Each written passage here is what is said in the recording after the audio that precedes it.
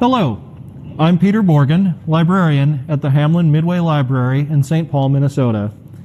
This is our 27th year of hosting the Fireside Reading Series, and we are thrilled to be able to carry on the tradition even in this unusual year.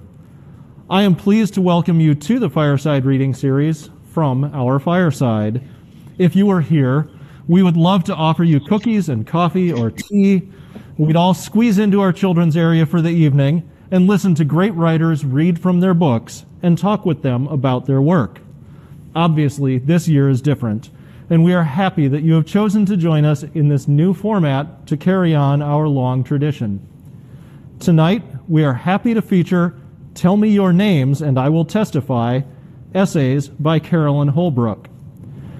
The St. Paul Public Libraries have copies of our featured author's work available for contactless hold pickup at the Hamline Midway Library or via Library Express at other library locations. You can find all the details on our website at www.sppl.org. I hope you are cozy wherever you are and that you enjoy tonight's event. Thank you for joining us.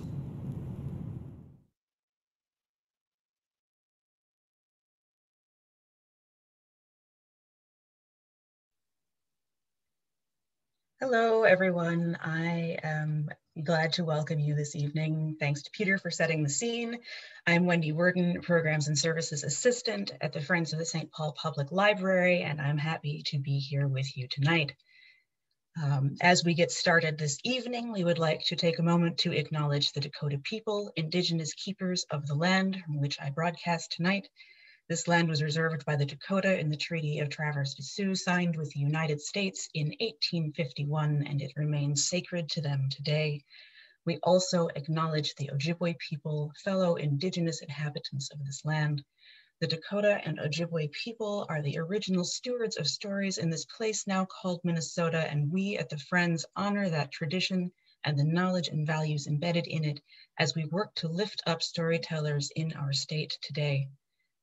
Our main event this evening features Carolyn Holbrook, and she is just been listed as one of the finalists for the uh, Minnesota Book Awards in the memoir and creative nonfiction category. And we're very, very happy to have her with us tonight. Uh, this event is made possible by the voters of Minnesota through a grant from the Metropolitan Regional Arts Council, thanks to a legislative appropriation from the Arts and Cultural Heritage Fund. Carolyn Holbrook is a writer, educator, and longtime advocate for the healing power of the arts. She is the author of the essay collection she will read from this evening. She's the co-author of Minnesota civil rights icon Dr. Josie R. Johnson's memoir, Hope in the Struggle. Her personal essays have been published widely, most recently in A Good Time for the Truth, Race in Minnesota, and Blues Vision. She is the recipient of three Minnesota State Arts Board grants and an MRAC Next Step grant. She is the founder and artistic executive director of More Than a Single Story, for which she won a Minnesota Women's Press Changemaker Award in 2015 and was the founder and director of SASE, The Write Place, which was one of my very first places to experience Minnesota Lit when I was a college student. She teaches creative writing at the Loft Literary Center, Hamline University, and other community venues. Welcome, Carolyn. So good to see you tonight. Thank you, Wendy. It's good to see you too. I did not know that you knew about uh, SASE when you were in college. yeah, yeah. I was I I was a was a Hamline student twice. So. oh, how about that? Okay. Well, um, hand it over to your reading. Right thanks everyone for coming and thank you wendy for for having me. Thank you friends of the st paul library. So um, just a little bit about my book tell me your names and i will testify. Um, i've been working on this book since the early 1980s when my children were teenagers. Um, it all started with writing about the funny things they did and said in an effort to try to stay sane because i was recently divorced and, you know, it was kind of shocking every day to find myself a single mother with five children to raise. So I figured, well, one, one way through it is to just think about the funny things that they do. And um, it really did help. Um, and so I just kept writing, just kept writing the essays for years and years. And then um, for a long time, I thought the book would just be a chronological memoir. But, you know, as I kept working on the essays that appear in the book, um, I couldn't figure out how to put them together into a logical sequence. So several years ago, while I was putting together a pitch for, for the Lofts Pitch Conference, my writing buddy, Diane Wilson, described my, my manuscript as a memoir in connected essays. And that's exactly what it is. So suddenly I sort of realized that, that um, that's what I had been working on all these years. Thankfully, my editor agreed. Um, and many readers have told me that this structure works really well for them because they don't have to follow a traje trajectory from beginning to end. They can just pick up any essay and read it and, you know, still be, um, you know, not lose track of what's going on. Um, and then, you know, when we started working on, on, you know, turning these essays into a manuscript, um, I had to take a look at the older ones from the point of view of how do I see that, how do I see it now, as opposed to when, you know, whatever I was writing about was going on. So that was a really interesting exercise, and I would recommend it for anyone who's, um, you know, looking back at things that they wrote some time ago. You know, there is a then and now aspect that's um, really interesting and important to take a look at. Uh, many people have also asked about the title of my book. Um, it begins with an epigraph, which is a section of a long poem by Lucille Clifton, in which she is visiting a cemetery on a plantation in South Carolina. And in the poem, she implores the unnamed slaves who are buried there to tell her their names so that she can testify on their behalf. So um, from there, I move to a prologue where I tell the story of a visit from an ancestor who commands me to tell our story. So I took that to mean um, to tell, you know, parts of my family story, but also to um, testify on behalf of myself and to, you know, add my words to what's been writ written about certain aspects of the story of my people. Um, so what I'm going to read for you tonight are um, the first chapter, which is called My Roots, and then I'll read some excerpts from the second chapter, which I will, you know, explain as I get there. So, excuse me, My Roots. I was a small child when my parents divorced. My mother moved my three siblings and me from our home in Ann Arbor, Michigan to make a new life in Minneapolis, and dad moved his new family to Springfield, Massachusetts. Life is never easy for a single parent, and mama was no exception. I always bristle when I hear white feminists talk about work as a privilege. Black women have always had to work, often cleaning the houses of wealthy white women who were privileged to work outside their homes. In addition to cleaning houses, Mama also did piecework in a factory where she was paid according to the amount of work she produced. But even with two jobs, she had to resort to commodities such as government cheese and a spam like meat substance in order to keep food on the table. Even so, she kept our house spotless, made our clothes, kept us clean, and nursed us through our childhood illnesses.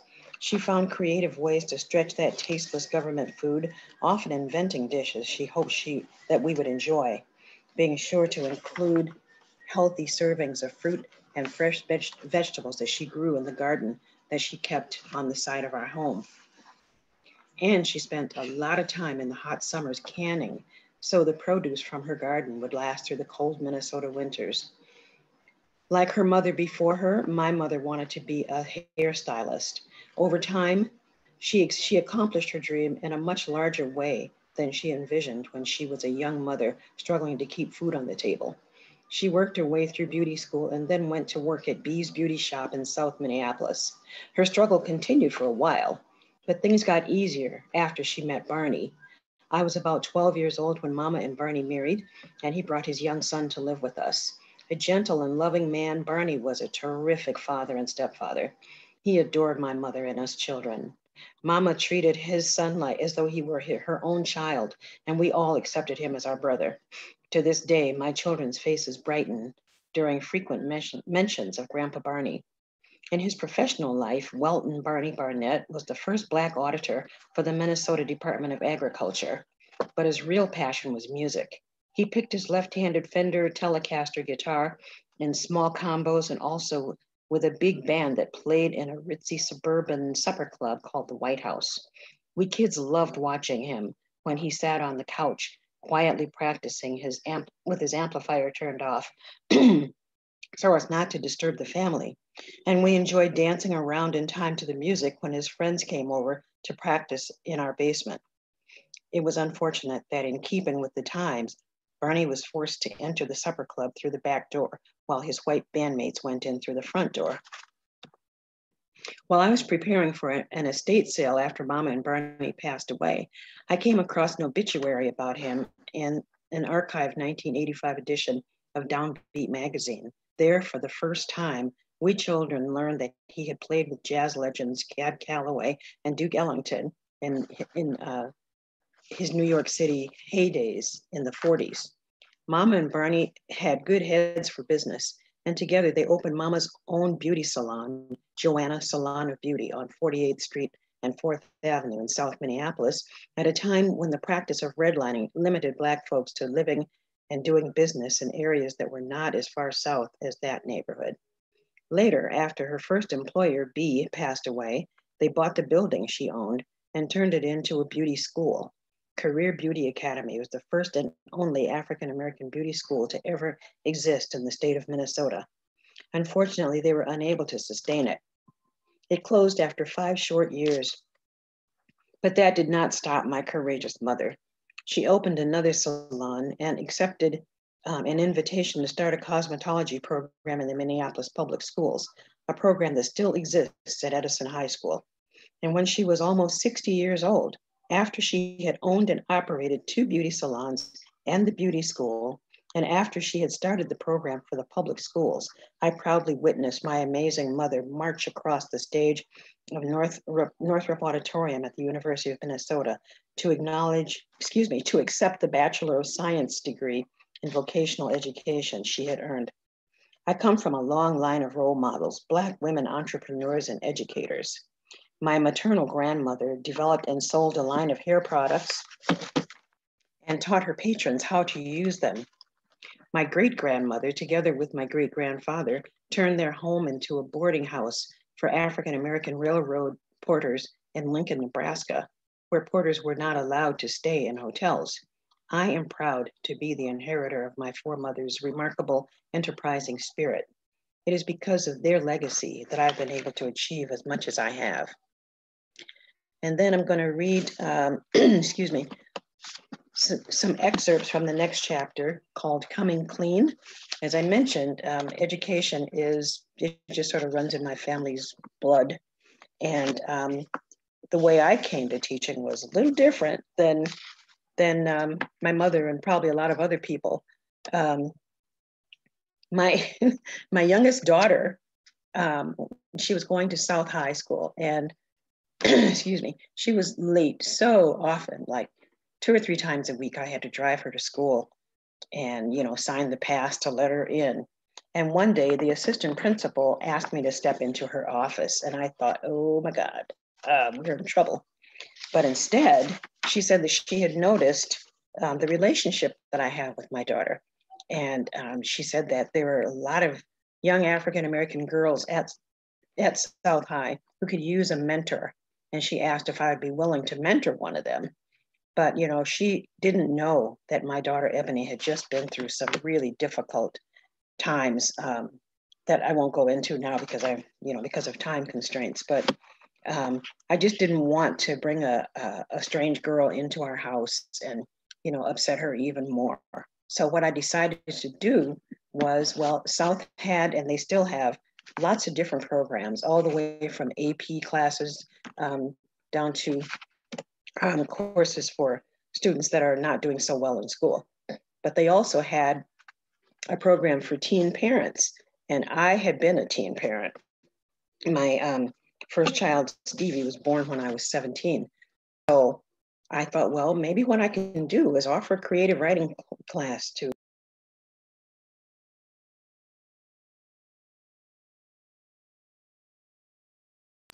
Sorry, I accidentally muted myself.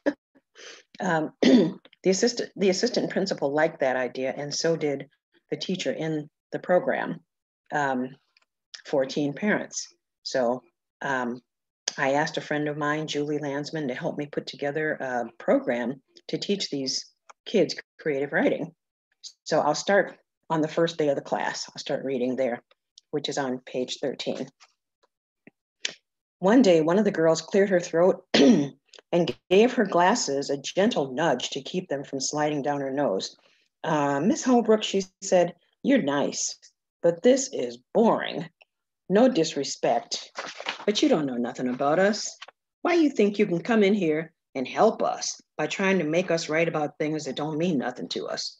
Around the table, heads nodded in agreement, and I suddenly realized that it might be professional and to a disappointing Ms. Rudell, who was the assistant principal. I had denied those young women and men the very thing that they needed from any adult who worked with them to just be my authentic self, to just be real. so I made a split second decision to drop the lesson plan I had so carefully put together and to come clean to show them that I knew more about them than they thought. That the reason I wanted to work with them was because I was one of them. I had my first child when I was 17. So I closed the page on the book of poems I had planned to use for that day's prompt and looked from one student to another the light skinned Black girl who was unable to see her own beauty, and with her partner, Corey, who adored her and their baby, the blonde girl whose seven month fetus bore down on her bladder, causing her to get up every few, few minutes to go to the restroom, which was thankfully located in the classroom, and then to the teacher who nodded slightly, wondering how I was going to handle the situation. I wasn't one of the popular girls in school, I told the kids. And then I went on to say that I didn't wear pretty dresses or go to school dances like the Central High Prom or the swanky debutante ball that my sister Joanne went to. Nor was I surrounded by adoring boys like Joanne and her friends were. Secretly, I wanted to be like my sister, but it simply wasn't in the cards for me. My personality wasn't the type that attracted popularity. Instead, my friends and I got into fights and talked back to our parents and teachers and the boys in our South Side neighborhood pretty much ignored us. My mother and stepfather were strict, but one thing my siblings and I were allowed to do without supervision was to take the bus downtown for Saturday afternoon matinees. My friends and I looked forward to those weekly excursions because a group of boys from the North Side projects also went to those movies. It was 1961, and they reminded us of the gangs in West Side Story the rough, sexy white boys we saw in reruns of James Dean's movies, and of Sidney Poitier, the gorgeous actor from the Bahamas who played Greg in Blackboard Jungle. And unlike the South Side boys, they liked us. Even though I wasn't a model teenager, I wanted my parents' approval after I started seeing this one boy from, from the projects. So I was sure that they would like him if only they could meet him. Boy, was I wrong. They made it unmistakably clear that they didn't want him coming around, nor did they want me to see him under any circumstances.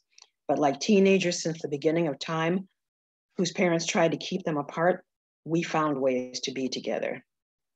Um, then I go on to talk about, you know, the ways that how, you know, he would pick me up in the middle of the night and I would climb out my bedroom window and meet him. Um, okay, so Joanne, my sister is Joanne. Joanne and I had a pink princess phone that sat on the nightstand between our beds. Luckily, she always fell asleep first. so on the nights Lonnie was coming to call, I was able to slip under the covers with my clothes on and hide the phone under my pillow with no worry that she would hear it ring. Like clockwork, his call always came right before midnight. Ready, baby? He rasped, and then whispered as though he feared that Joanne would hear him. I'll be there in five minutes. My bed rested against the wall by our bedroom window, which made my next steps easy. I quietly placed the phone back in its cradle and returned to the nightstand, class, uh, glancing over to make sure Joanne was still sleeping. Then I slowly opened the window and crawled out onto the slanted roof and closed it, leaving it open just a crack to ensure that I might be able to get back in. I jumped down from the roof and creep out into the alley where Lonnie was waiting. We never stayed out longer than an hour or two.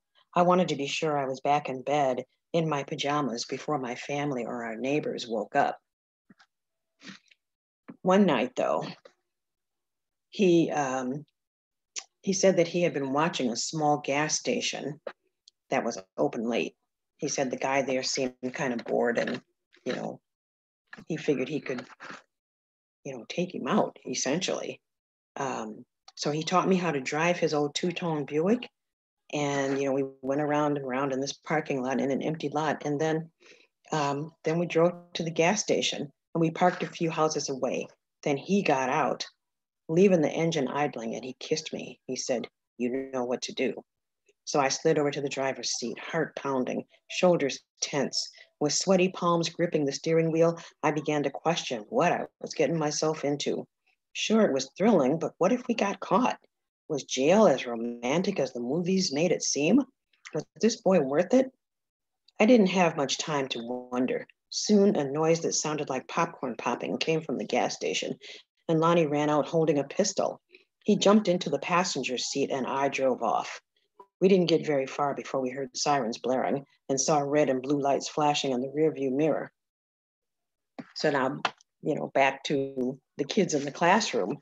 Um, I mean, they, the young parents stared in amazement when I told them how that night resulted in my being sentenced to the Minnesota Homeschool for Girls in Sauk Centre, about 100 miles northwest of Minneapolis the doctor there soon discovered that I was three months pregnant. And because of the last, uh, uh, because of the heart murmur I was born with, he sent me back to, Minnesota, to Minneapolis to spend the remaining six months of my pregnancy incarcerated on the maternity ward at the University of Minnesota Hospital in a bland room with white walls, a cold linoleum floor, and four beds. A steady stream of women came in with labor pains and left within a few days with their newborns.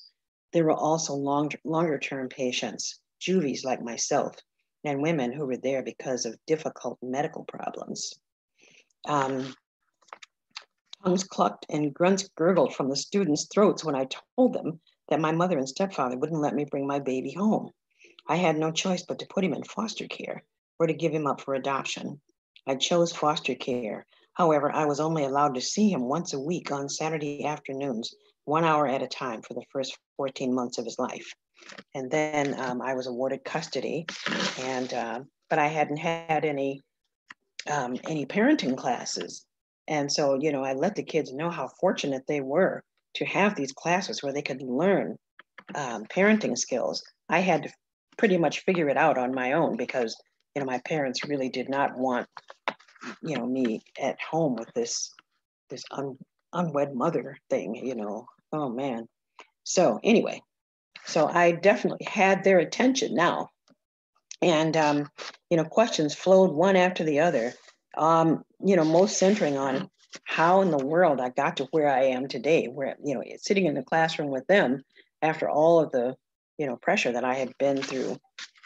Um, and so then uh, the mood changed, and the kids started writing. You know, and every week got it just got better and better. I'd still bring in prompts, and by then they were ready to to try at least to write.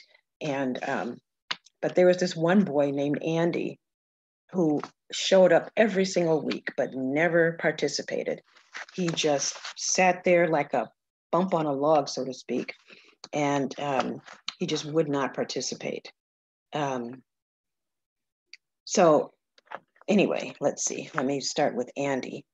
Um, so as I mentioned, the, the class, you know, they were, it wasn't just the moms, there were boys there too. There were, you know, young, there were several young fathers who participated with their, um, with their daughter, with their um, children's mothers.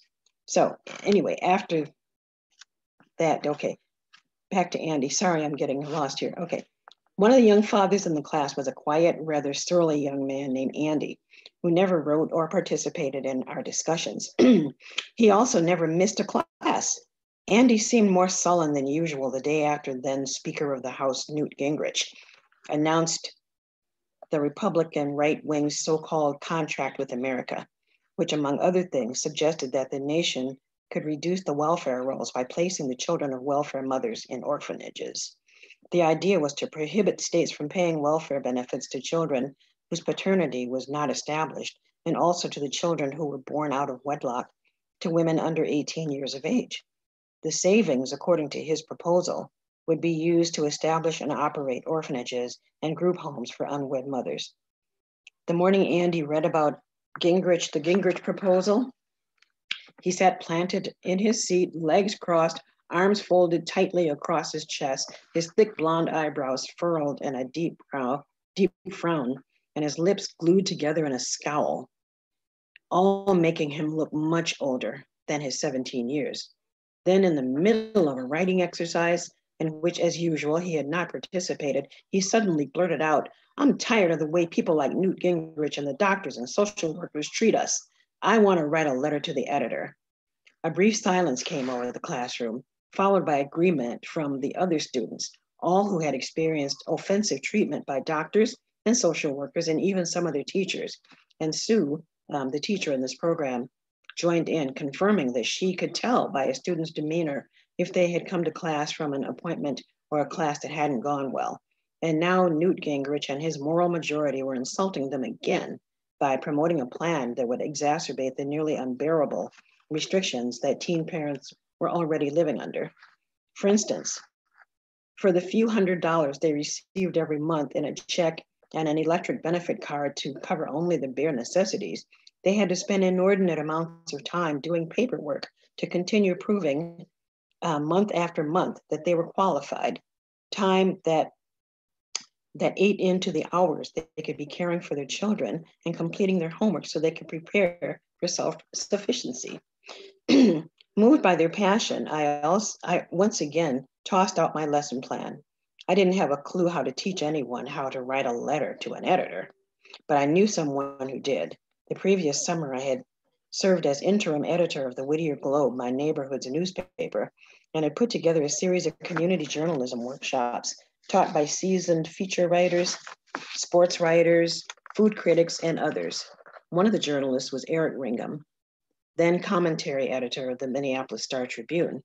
I called him and I was happily surprised that he agreed to come and visit the class because um, I thought he was just going to give me a few pointers, but instead he came. And um, so he explained his work at the Star Tribune to the students and his expectations for their commentaries and told them that if they were willing to write commentaries about their lives as teen parents, he would publish them and pay each child a hundred bucks.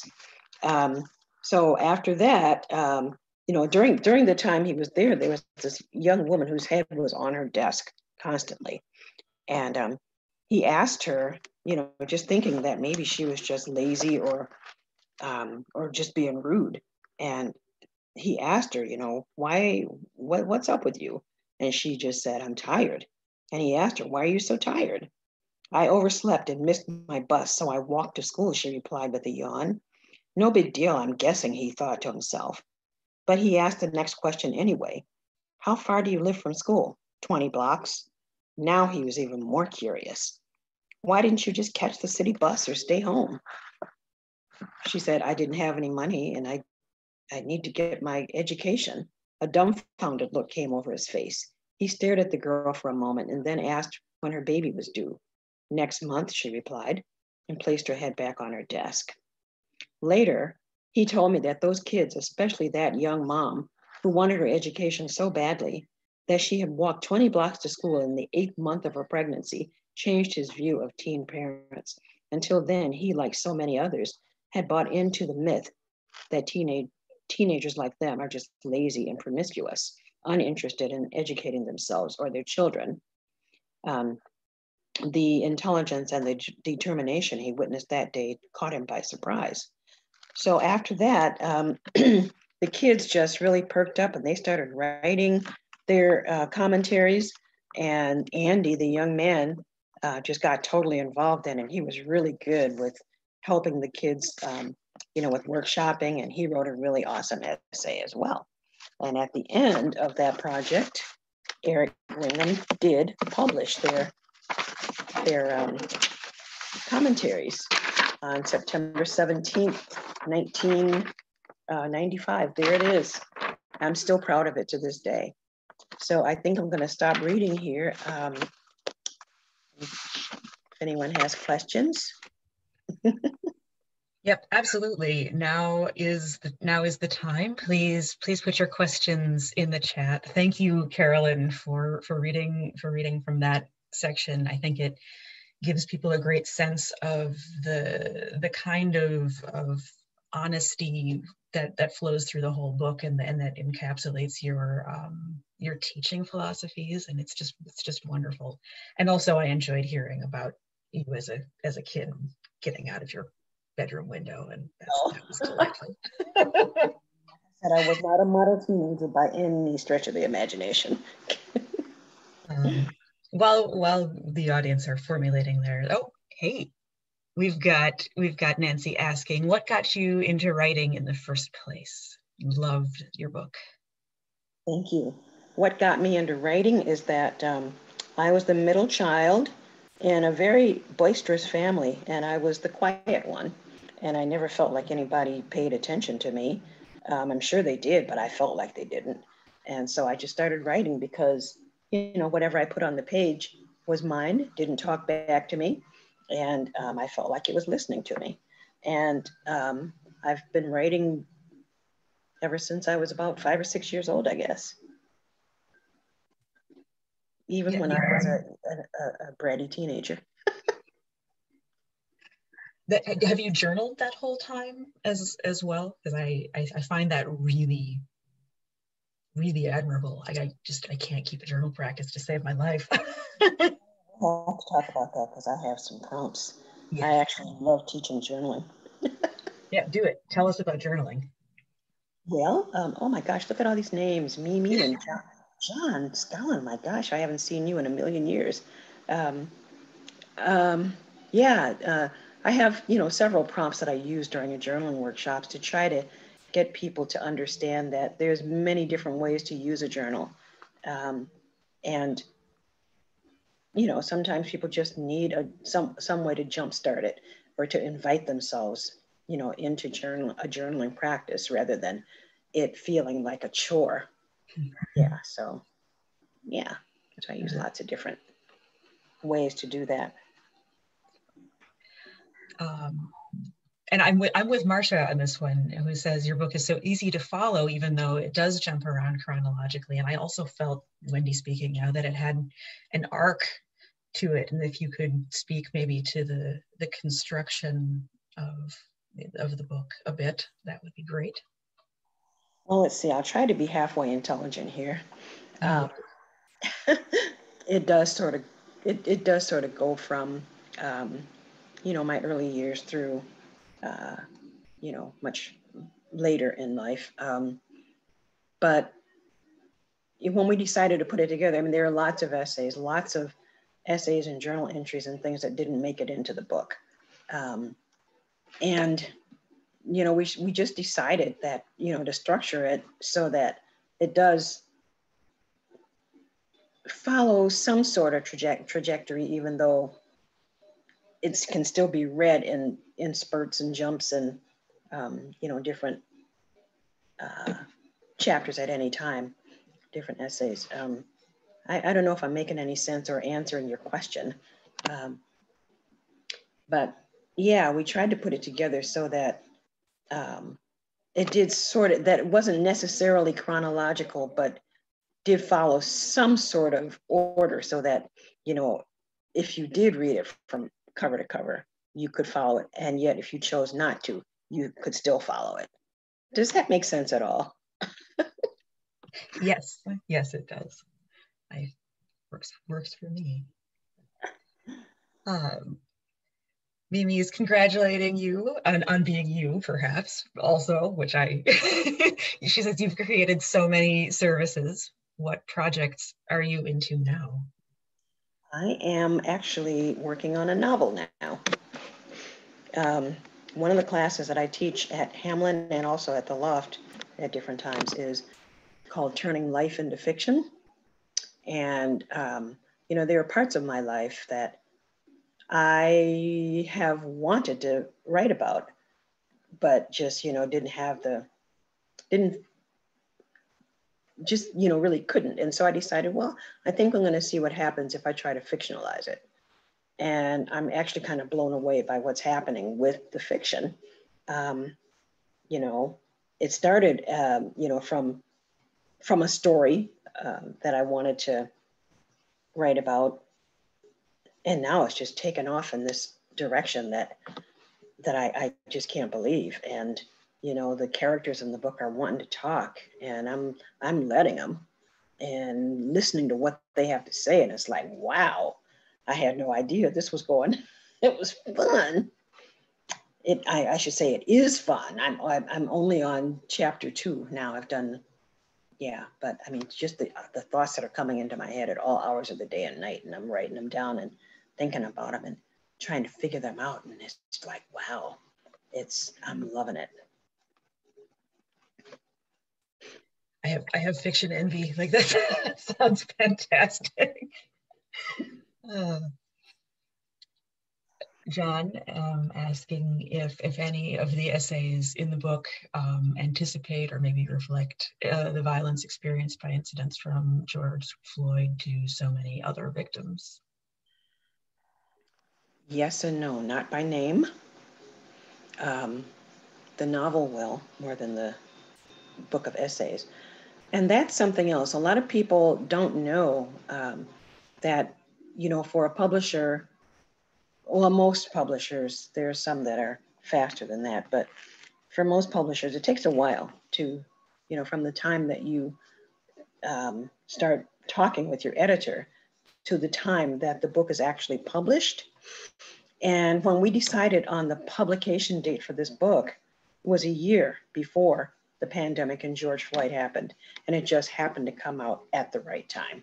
We had no idea. And it's very, very timely in that way. Um, but we didn't plan it that way at all. Um, the other thing I'm working on with more than a single story, which is my little organization where we have panel discussions and writing workshops on all different kinds of topics that are pertinent to the various communities of color. We are putting out an anthology in the fall, um, which kind of covers the first five years. Well, we thought it was going to cover the first five years of more than a single story. We're into our moving into our sixth, almost seventh year now. And so we thought that it was going to reflect those five years. And then the pandemic happened. And so we told the writers, you know, if you want to write about that, it's fine. We're not going to tell you not to. And then George Floyd happened. And we thought, oh my God, you know, wow, what is going on here? So we told people the same thing. You know, you want to write about the conditions that we're living in today, that is fine. So some people, the, the anthology has pieces that, you know, relate directly to the unrest after George Floyd, directly to the murder of Black people, directly to the pandemic, but also other topics as well. So um, yeah, we just finished putting together all of the, I think there's 26 um, pieces um, within those, I think there are five or six poems, but most are essays, and trying to put it together so that it makes sense, you know, considering the, the breadth of, you know, work that has come in. But you'll be seeing that in October slash November. That's very exciting. I'm happy to hear that. Yeah, me too. Such a good collection of of voices in the in the in this area to draw from. So You've been so good at, at lifting those those voices up. So it's very it's great. It's exciting.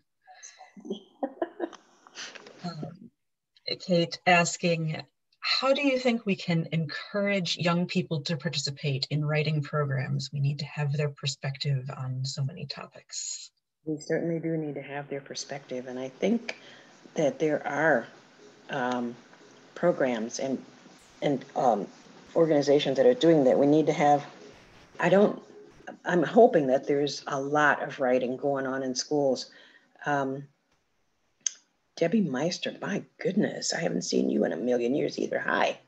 Um, yeah, so I, I think, you know, today's kids are more familiar with poetry um, and spoken word than they were when we started at SASE in 1993.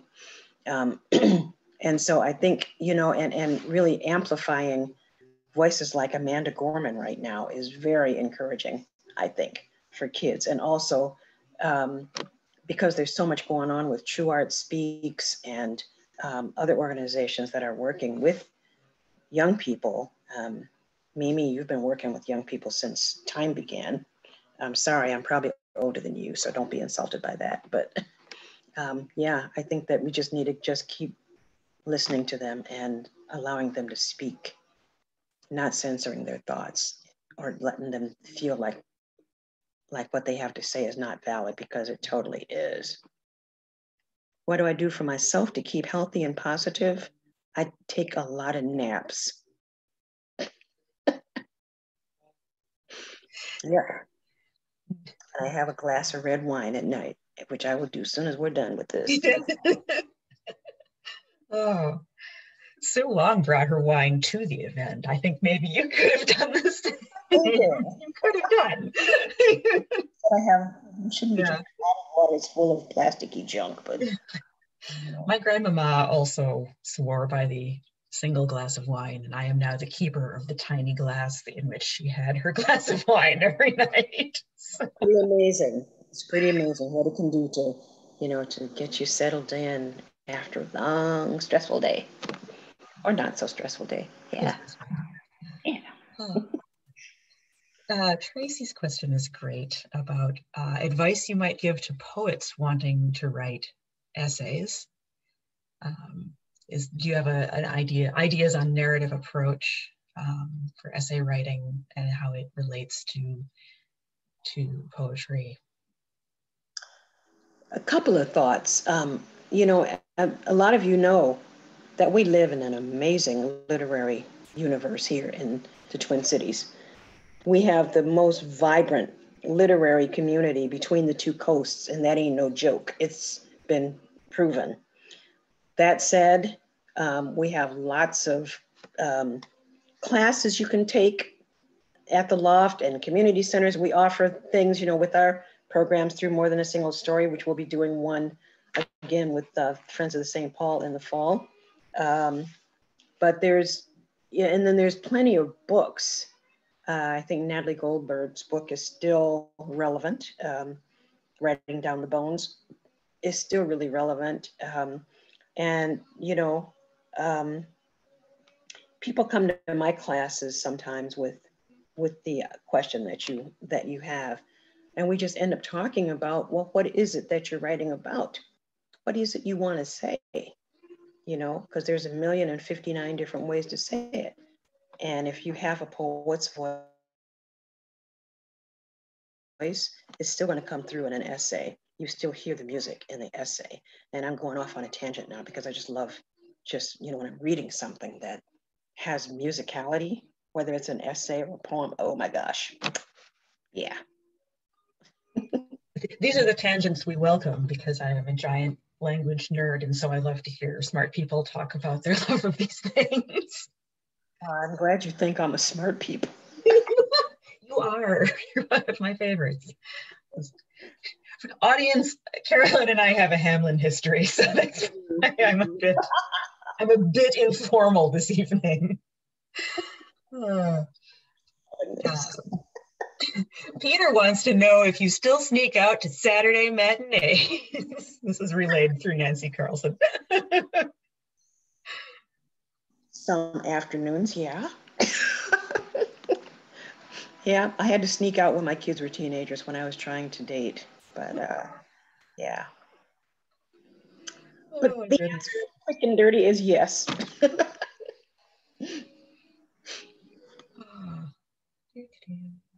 see. We just mentioned Natalie Goldberg, so that's that's good. That's good. Do you still speak to to high school classes about about writing topics? And I mean, I know you're out there in the community all the time, but yeah, and with this Zoom stuff, um, it's a different way to speak to classes. But yes, we've um, actually have a couple of ne- next week. and then, yeah, yeah. Interestingly, someone asked me um, to record a couple of the pieces in my book for her high school class because she, you know, she couldn't, you know, put together a, a dialogue with me and the kids. So yeah, okay, what the heck, why not? Maybe she'll figure out how to do that. Yeah. Anything works right now, I think. That's one I of agree. I the agree. upsides of this this format. um, Annette has asked, I'm intrigued by the way your spirituality comes out in your writing. Can you speak more um, more to this or maybe how how you decided to do that in in the book? It's sort of like um, it's just a part of me um, and my own personal spiritual path just lives with me all the time you know whether it's um, ancestors coming to visit me or you know my own kind of stuff and i always sort of go back to an interview i heard with isabel allende um, it was on npr actually and somebody asked her how do you um, include the politics in your writing so seamlessly? And, you know, if you know Isabel Allende, she writes fiction and memoir, both. And they both just sort of, I mean, it's just full of just amazing stories, but, you know, the politics in her country um, always find their way in. And she says, I don't think about it, I just tell my story. And I think that's what I do, you know, in terms of including spirituality in my work it's just such a part of me that I, I, you know, sometimes I don't even know I'm doing it. Then I look back and say, oh, yeah, I guess I'll keep that. yeah. It, it comes it comes through uh, very very authentically, and I think that's that's valuable in I mean in, in any any piece of, of writing. You can tell when someone is just being themselves and i and i appreciate that about about your work. Thanks wendy um, sounds like your parents were right about lonnie. Ooh do you ever think about it you ever or, or do you ever think about as you raised your own children what might have what they might have done differently to being your parents? Sorry there's a lot of so what your parents might have done differently to encourage you towards something or someone else? I mm-hmm. think what they could have done is the thing that that parents often don't do in situations like that i mean they should have let me see him then i probably would have seen him and got tired of him real quick but they said no and the more they said no the more i said yes you know what i mean so mm-hmm. people, I mean, just remember Romeo and Juliet. It's been going on since the beginning of time. When parents tell teenagers not to see each other, I mean, they're going to do exactly what you tell them not to do. So if they had tried to embrace him, oh my God, I can't even imagine that. But if they had tried to em- embrace him or just accept, you know, that I was seeing him, I probably would have gotten so tired of him within three weeks or less. That's what I think. Yep. yeah. We've had a couple of, of questions. I like to wrap with the with the with the fun here. So um, all of this has been fun, but we've got a couple questions about who are you reading now, your favorite book of all time, memoirs you would recommend. So kind of what are what are you enjoying in the in the book world and what have you enjoyed? I just finished reading Ocean Vuong's um, uh, autobiographical novel, On Earth We Are Gorgeous. What, what is the title? Uh, yeah. I should trying to roll across my room right now. Yeah, I think it's On Earth We Are Briefly Gorgeous. Yeah, On Earth We Are Briefly Gorgeous. Because I'm really, really fascinated right now by um, by autofiction. But, you know, because uh, I think what I'm writing is autobiographical fiction. And so I'm sort of going back and looking at some like Tim O'Brien's work, um, even though it's about the Vietnam War and I don't want to hear any more about the Vietnam War. I'm interested in how he did that book. It's definitely autobiographical fiction. I'm I'm really fascinated by that by that form right now. Um, um, and I'm also interested in um, I'm going back and reading, or, or if you're familiar with The Immortal Life of Henrietta Lacks, um, Scorpio on the cusp. I'm a Scorpio on the cusp too. Hey, I just saw that come up. Um, I don't know which cusp you're on. I'm on the Libra Scorpio cusp. But um, I'm, you know, because my novel, I want, I really want it to talk about the horrific things that have happened to Black women and girls. Um, and so I'm sort of, you know, sort of looking at things that have happened to Black women. And for some reason, Henrietta Lacks just popped into my head when I started, when I first started the novel. And um, if you don't know about her, it's easy to find. Just look up Henrietta Lacks or look up the HeLa cells, H E L A, and see what the medical community has done to us. Um, and I'm really fascinated by by those stories and you know and trying to trying to figure out you know how to tell them without it sounding like um, you know overused stuff and to make it still sound fresh. And so my protagonist is 26 and um, what happened in her life happened when she was 12 so she's going back and forth and other women in her in her life are talking. Her aunt, um, her mother who has passed away, she comes back and talks. Um, but yeah, I'm I'm sort of looking at at things like that. Have any suggestions? Pop them in the chat. I'd love to know. Yeah, I, that I I remember shortly after the the the nonfiction book, The Immortal Life of Henrietta Lacks, came out, I read that and I just like, I dove down this rabbit hole that didn't quit because it was so. yeah. It was, it was an eye opening experience for, the, for this uh, still somewhat naive lady, I think.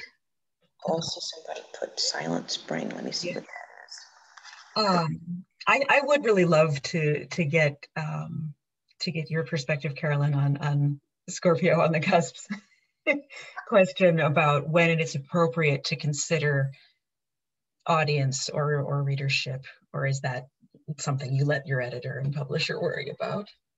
A little bit of both. I think that there's a long, long, long, long road between writing and publishing.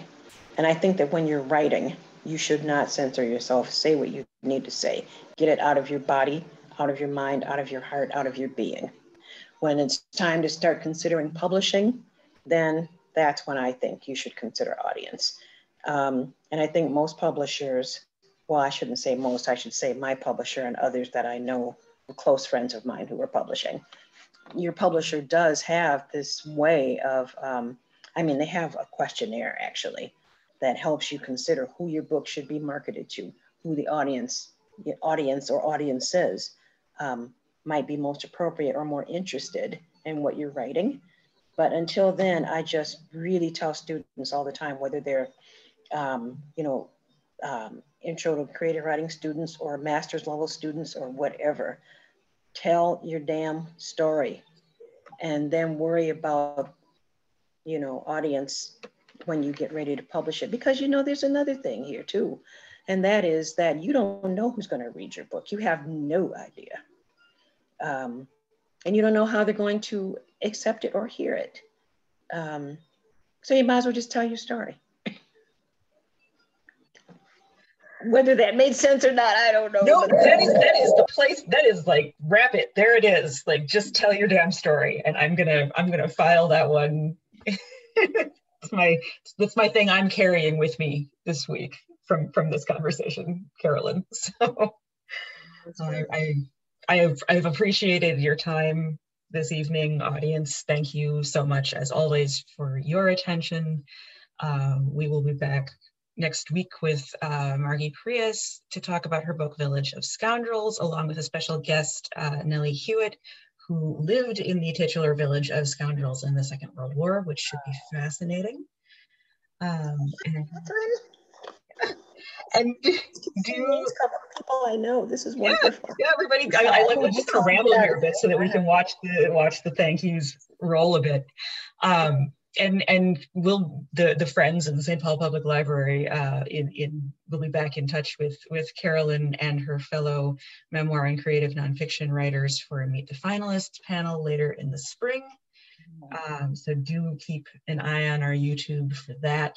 It'll be great. I loved these panels last year. It was a fantastic discovery of pandemic era programming we could get fuller length meet the finalist panels and everybody could talk a bit more about their work. So that was great.